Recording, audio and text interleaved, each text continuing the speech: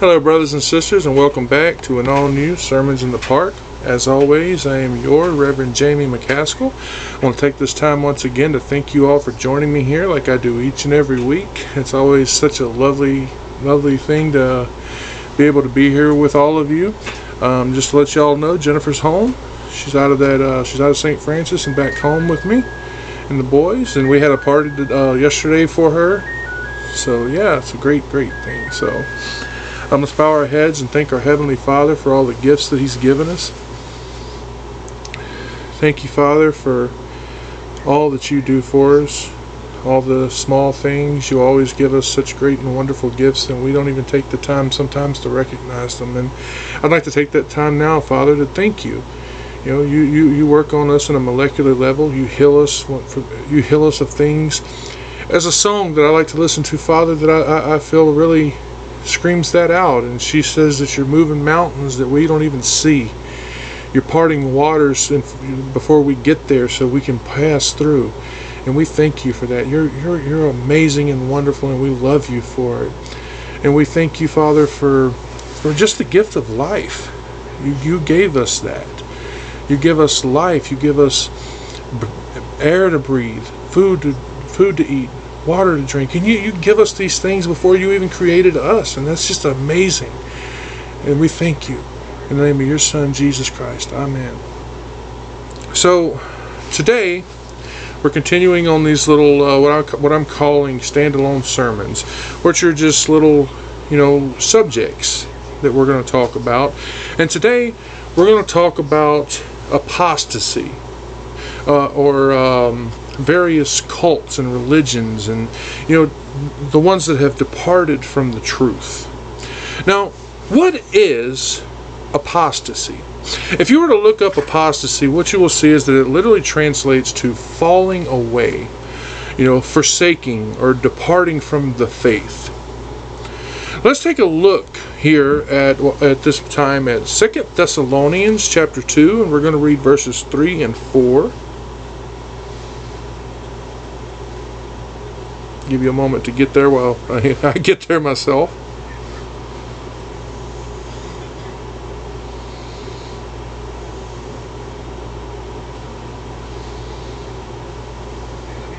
Okay, so in Second Thessalonians chapter 2, sorry, my, this uh,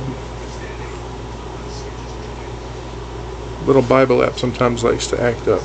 So in Second Thessalonians chapter 2, verses 3 and 4, we read, Let no man deceive you by any means, for that day shall not come except there come a falling away first, and that man of sin be revealed, the son of perdition, who opposeth and exalteth himself above all that is called God, or that is worshipped, so that he, as God, sitteth in the temple of God, showing himself that he is God. You see, what Paul is t- telling us here is that there are certain things that, that have to happen before the coming of the Antichrist. And one of these things that he warns us about is that there would first be what he calls the great apostasy. You see, the word apostasy comes from a Greek word, and that word is apostasia, which, like I said, means to defect or to forsake the faith. Just like we see in 2 Thessalonians chapter 2 verse 3 it says, "Let no one in any way deceive you, for it will not come unless the apostasy comes first, and, and the man of lawlessness is revealed." Now, one of the things that I see when I look around and it honestly it does sadden me is that the current generation that we live in they have set the standard for apostasy.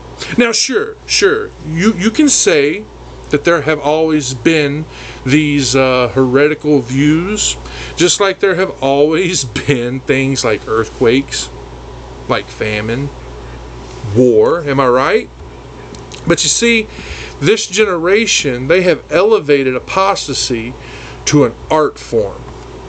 Now, let me ask you this.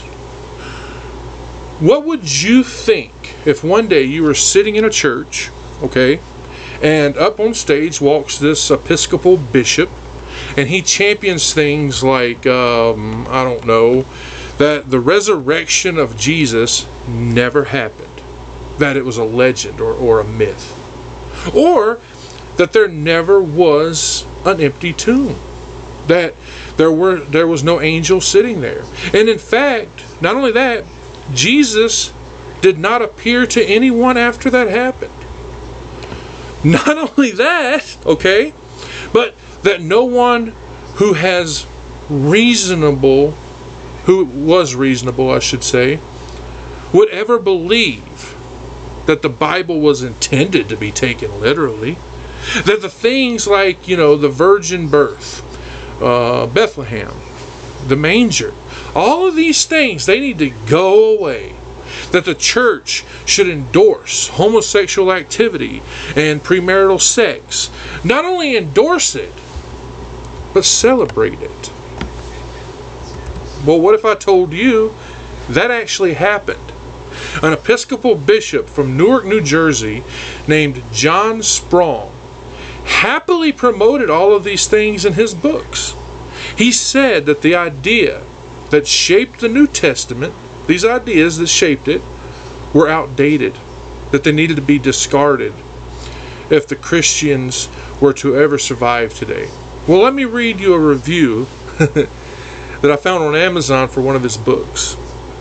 It read, Oddly enough, Spong's view do not seem new. In fact, his views seem very much in keeping with the religious humanist variety of Unitarianism. So, yeah, the belief themselves are not remarkable.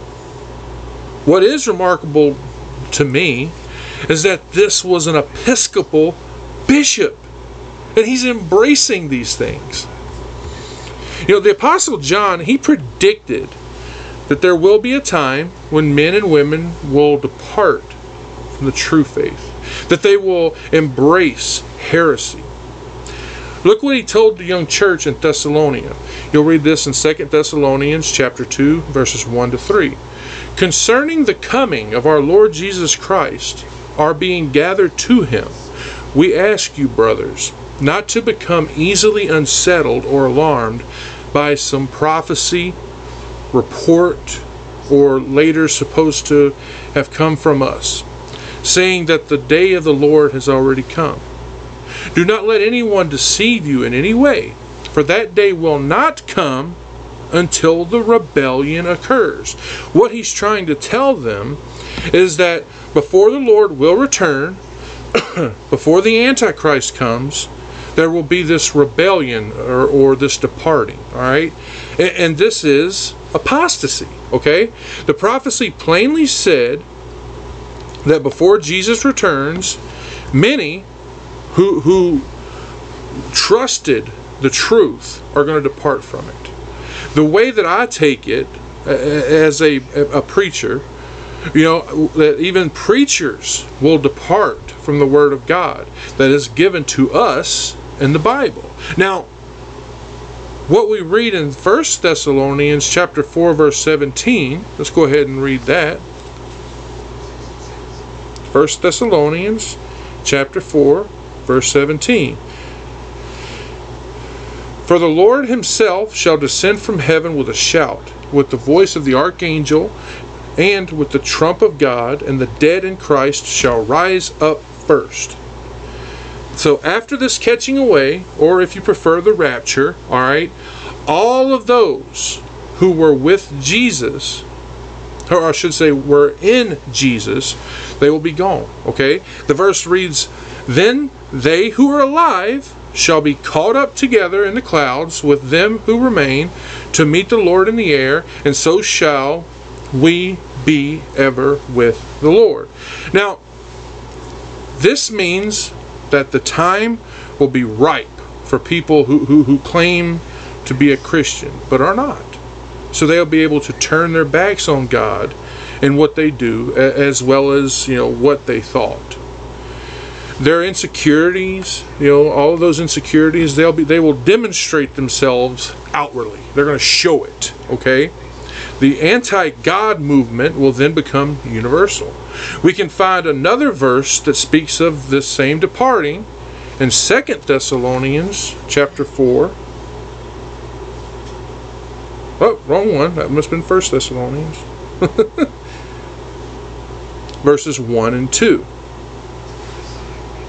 Furthermore, then we beseech you, brethren, and exhort you by the Lord, that as ye have received of us how ye ought to walk to please God, so ye would abound more and more, for ye know what commandments we gave you from the Lord Jesus. For the time will come when men will you know, see. I, I must have wrote that's First Timothy, Second Timothy. I'm sorry. Let's go look at that. I wrote the verse down wrong.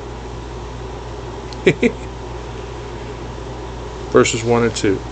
I charge thee therefore before God and the Lord Jesus, who shall judge the quick and the dead at his appearing and his kingdom, preach the word.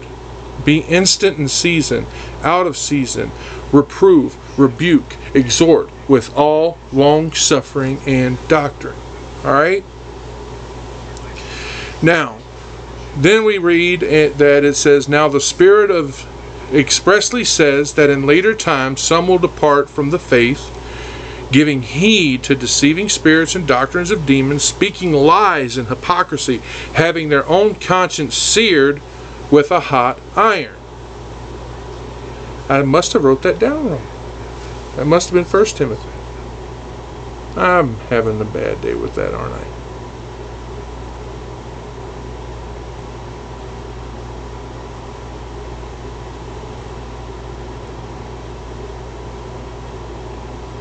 Yeah, that's First Timothy. I'm sorry about that. I wrote it down as Second Timothy.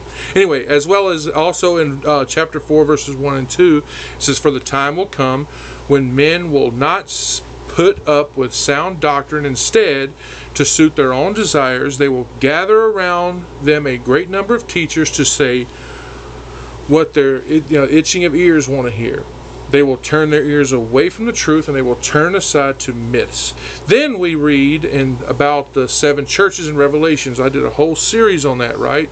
Especially in chapters 2 and 3. We read about Laodicea.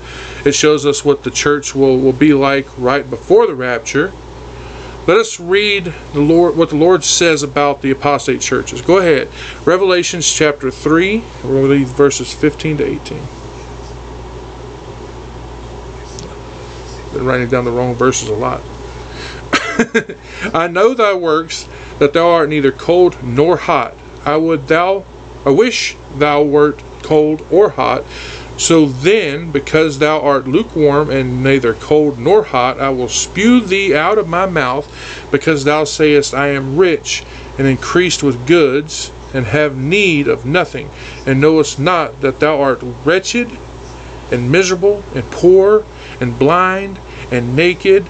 I counsel thee to buy of me gold tried in the fire, that thou mayest be rich, and white raiment, that thou mayest be clothed, and that the shame of thy nakedness do not appear, and anoint thine eyes with eye salve, that thou mayest see.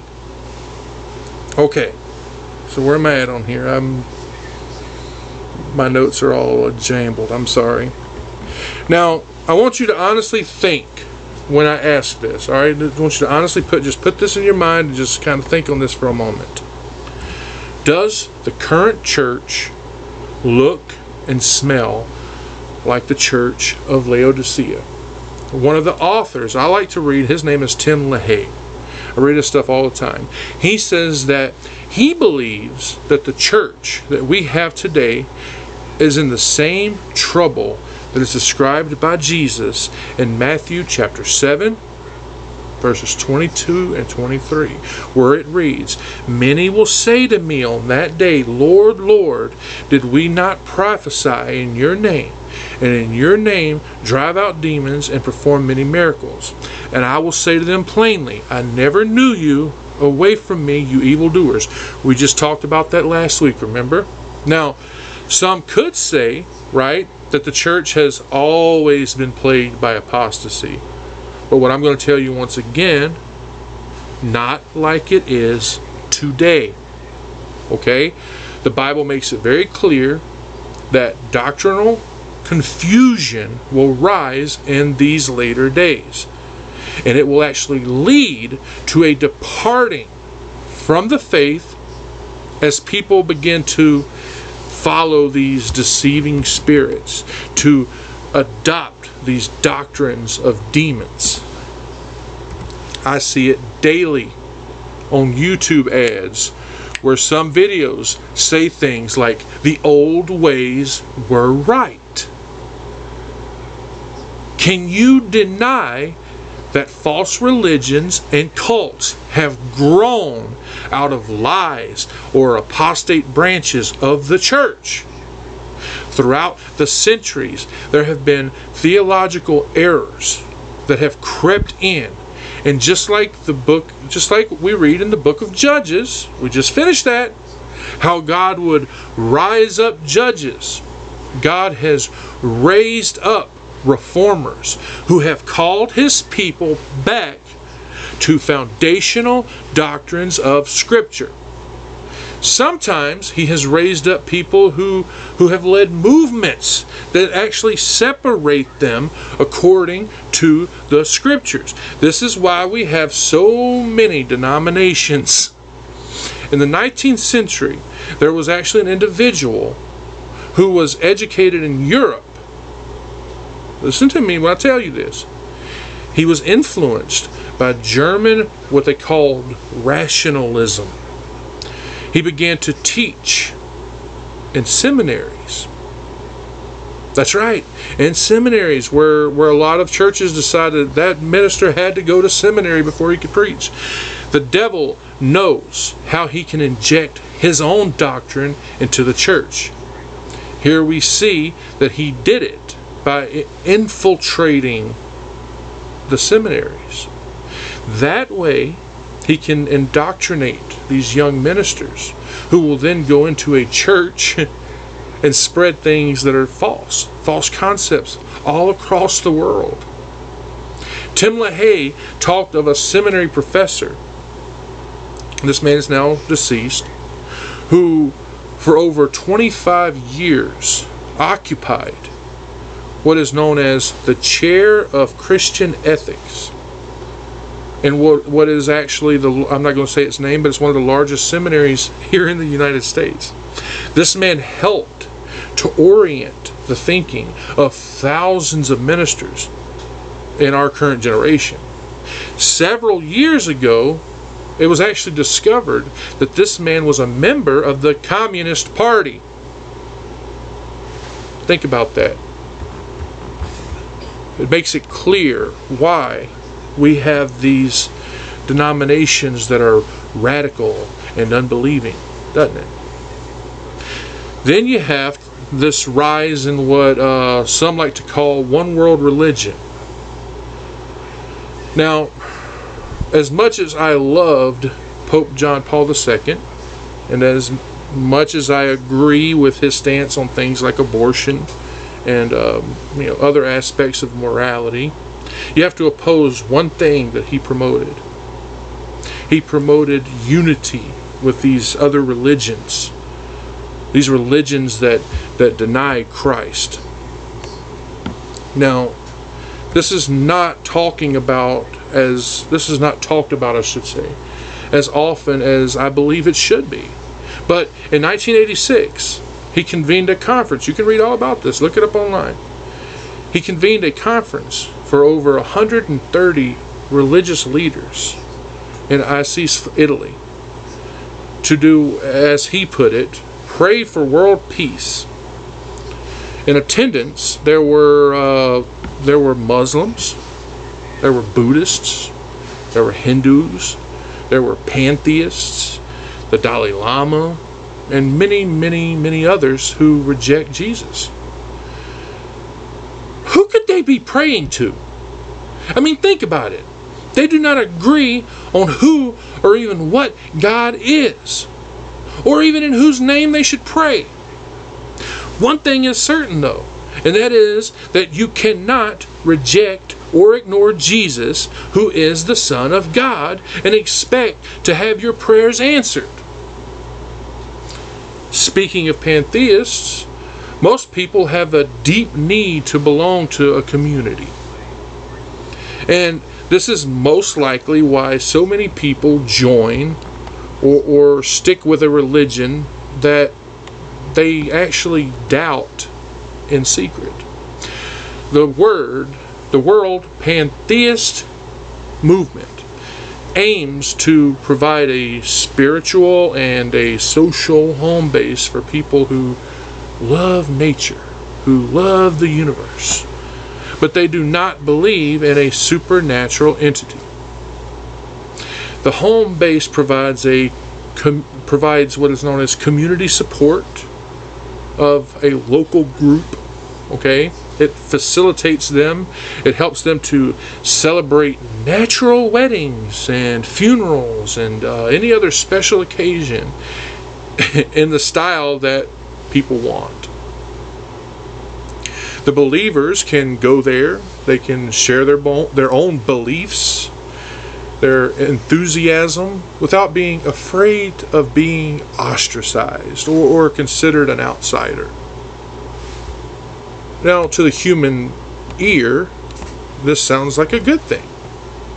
It, it tickles our ears, you might say, makes you feel good. But the Bible makes it clear that the idea that all religions point to the same God is blasphemous, as well as the idea that there are many ways to God Buddha, Mary, Gawa, Muhammad. None of these are the same as Jesus. They do not carry the same weight with the triune God of the Bible. There is only one, only one begotten Son, and only He can give you or me access to God through prayer. So, how close are we? Well, all it would take for all of the world's religions to unite under the leadership of, of Rome would be the rapture of true Christians. It would strip the Catholic Church. It would strip the Orthodox Church. It would strip the liberal Protestants. And yes, even you and me, us evangelicals, of all of the true believers it would make religious unity without respect of the differences instantly possible. Now, I want you to think about the world around you.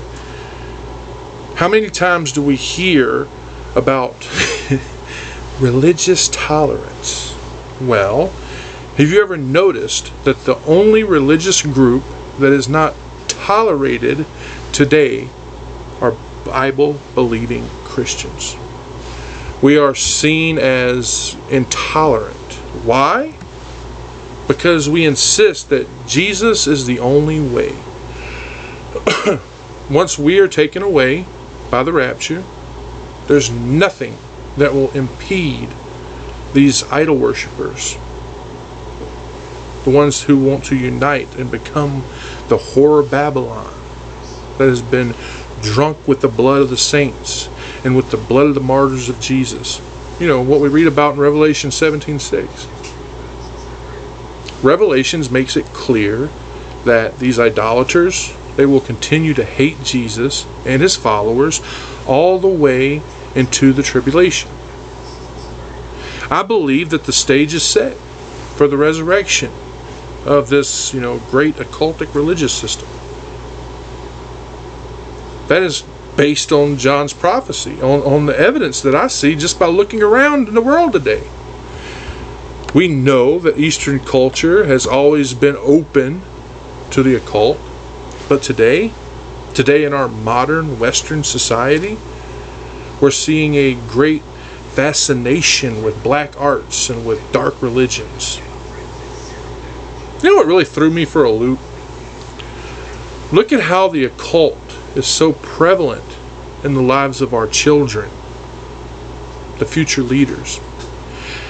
I sat at the table eating Thanksgiving dinner with my wife with my wife's family one day, and uh, I actually this has been a long time ago. I don't even remember how long ago it was, but I remember I remember this because I heard my little niece singing a song, that included the words, Hail, O Goddess.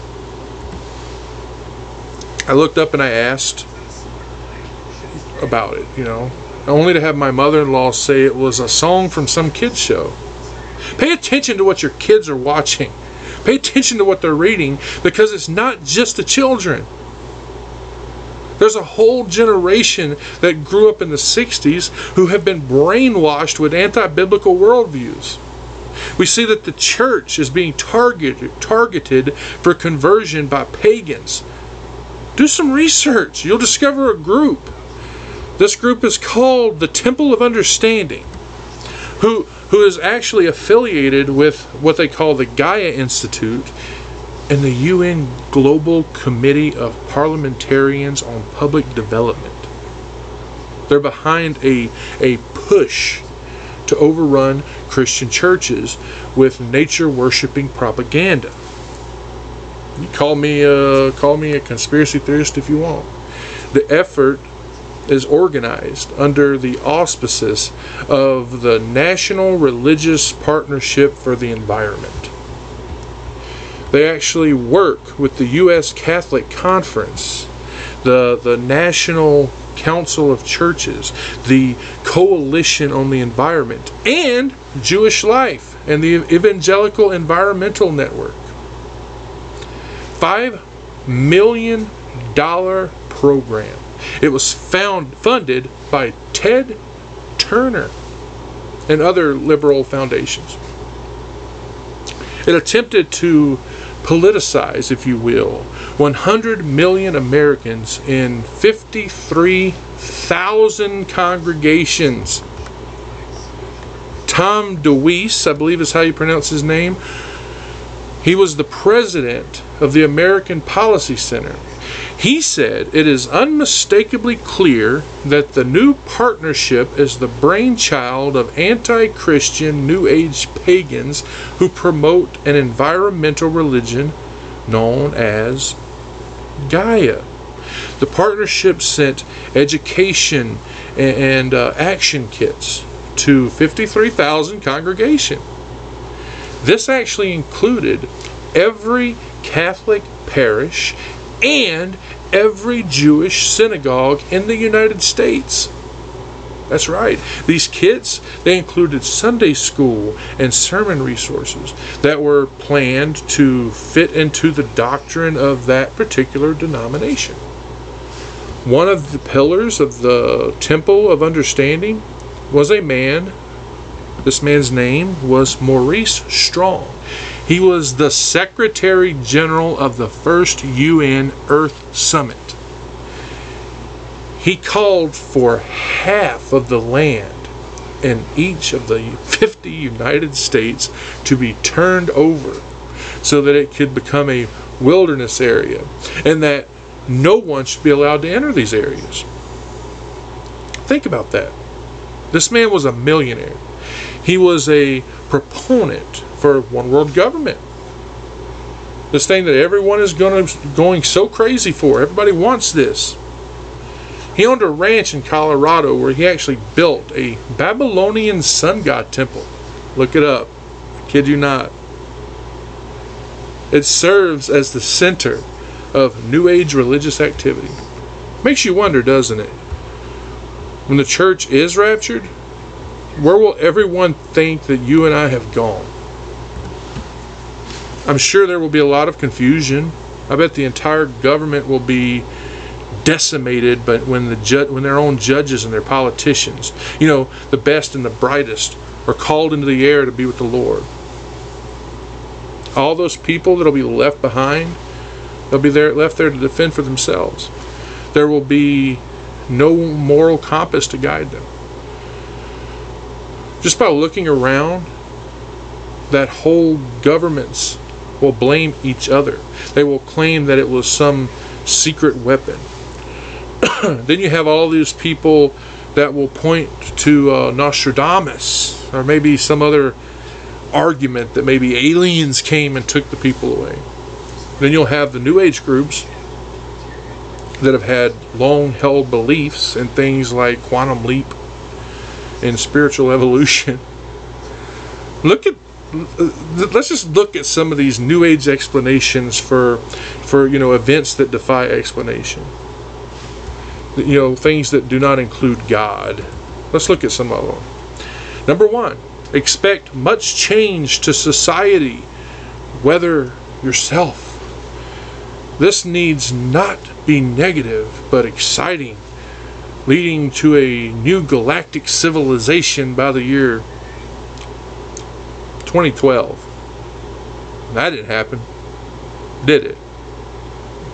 Number two, time will seem to speed up. The Mayan calendar says we're moving beyond time and beyond money. hmm. That didn't happen. There will be an official announcement of contact with extraterrestrials in 1997, 1998. It said probably from the U.S. government. That didn't happen, did it? Number four, earthquakes, eruptions will probably increase, but there will not be a massive rise in the water level. This is Mother Earth cleansing herself. Number five, there will be much jockeying for power over the next few years between the military, the secret government, New World Order, Illuminati, Vatican, and some extraterrestrials. Number six, the banking system will probably collapse. The Mayan calendar says we're going beyond time and money. that didn't happen. Number seven, the New World Order will attempt to be in power by 2003. This will probably be short lived. We may wake up one day to the headlines that the banking system has collapsed. We each have $500 of credits units in a central system, and we must use a smart card for all transactions. Well, brothers and sisters, it's 2022. Did I miss that one? Number eight, there's possibly a fake second coming, meaning the return of Jesus, staged by a negative gray extraterrestrial. This could be an aerial hologram. This could be staged to divide us and distract us. The second coming is really within us. This one that I, I think they will actually use this when Jesus actually does appear in the sky. Because remember, everyone's going to see this. I think that one's one of the ones they're actually going to use. Um, number nine. Some people will be checking out due to their inability to handle the new higher spiritual frequencies of energies coming to our planet. This will be their choice. Take note that this is a blatant false prophecy that was designed to explain away the, the rapture of the true church. Number 10, expect newly born children to be intelligent highly intuitive and spiritual leaders. They actually use this one to try to say that kids with uh, autism are on a higher level, that they're on they're on what uh, on the next mutation. I've seen that one used a lot. Now, did you notice, like I did, that as 2012 actually got closer and closer, we actually kept hearing more and more and more about that Mayan calendar. It became widespread. It was a, a natural cycle calendar that they said uh, stimulated synchronicity and telepathy. They actually believed that if they used that calendar, that it would help them to heal the planet that it would you know break the link between time and money and, and that it would bring about uh, a oneness and an understanding. Now how many of you remember the story of ww higher source cult? Back in 1997 the whole world was shocked when they learned about this 39 members of this uh, you know southern california cult that they committed suicide because they actually believed that they would be able to leave their bodies so that they could board this alien spaceship and they believed that this that this spaceship was following the Hale-Bopp comet. I read where where someone said that when people stopped believing in God, they will start to believe in anything. And I believe that what happened with that cult uh, uh, clearly illustrates that. Even witchcraft. Witchcraft was once a source of um, a lot of jokes, but now here in the West, it's it's on the rise again. I read where a group of witches won a, a court fight because they wanted to use this non-denominational um, New Hampshire cathedral as a meeting place. They won. They won on the basis of the fact that this non-profit group that ran that cathedral allowed for a variety of religious groups to use it. And that meant that they were not allowed to discriminate against these witches. Ask, I've got to ask, where do we go from here? Well, as we enter this age that they're calling the New Age, an age where the religion of the ancient Babylon is is going to come again. It's going to come forward. It's going to re it's going to reunify the world. Remember what I said about the ad on YouTube? They're saying maybe the old ways were right. Think about it. And then we have the worst thing that is out there. And that's these self-serving translations of the Bible. And this is and I want I want to take I want you to take with a word of caution what I'm going to say. There are cults out there that are tampering with the Bible so that they can promote their own doctrines. This should tell you how bad the teachings are. Because if you need to alter the Word of God, you should know that the belief is not authentic. We have some like the Mormons. The Mormons have the Joseph Smith translation. Then the other I can point out is that the Jehovah's Witness, they have their own version of the Bible. The Jehovah's Witness, they deny so many biblical doctrines, including the very deity of Christ and salvation by grace. They changed so much that they had to produce their own Bible, what they call the New World Translation. This is not, and I want to repeat, not a translation from the Hebrew or in Greek manuscript. It is self-serving. It's a perversion. If you can find one, I want you. If you can find one, and, and they're everywhere. I actually have one, um, and I was planning on showing it today, but I, I forgot it back in my uh, in my box. If you can find one, I want you to sit down with it and compare the two. You will see that there are many, and I do mean many, problems with it. Like I said, it's designed to promote and support their own heresies. Now, I have many people who follow me that are Catholic. I have a lot of Catholic friends and many Catholic followers. So, when you're watching this, please do not take what I'm about to say wrong. Do not take it as me bashing Catholicism. Just this particular translation. The Catholic Douay Bible,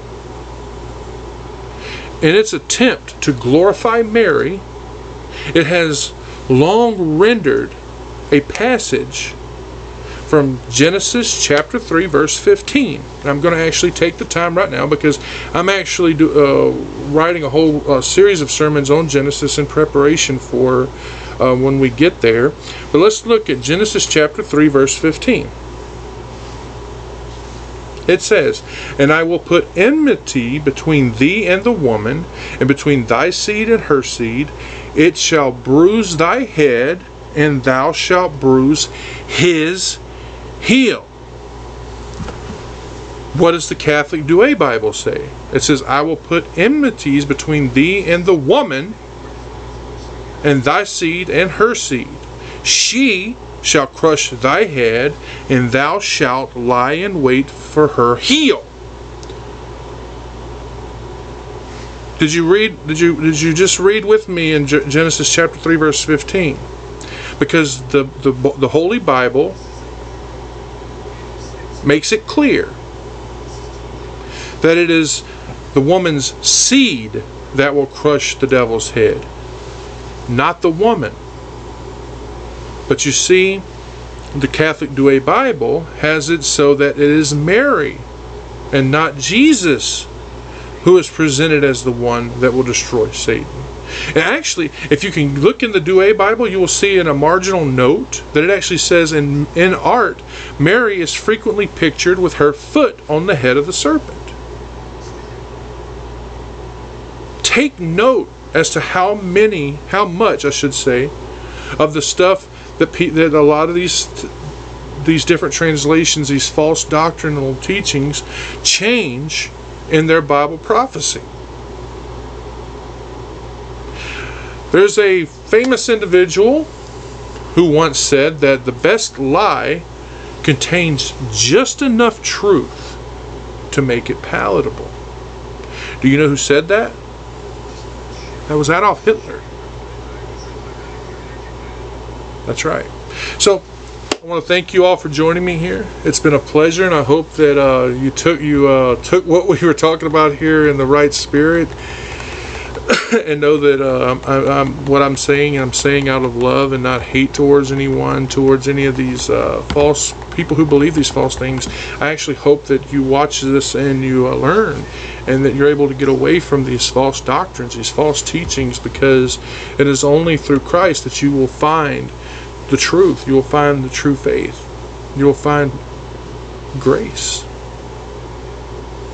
I love each and every one of you, and I pray that you continue to join me here each and every Sunday. Um, I guess it's a pleasure, and I love each and every one of you. May God continue to bless you and keep you, and I will see you all here next week for an all new Sermons in the Park. Thank you, and God bless you.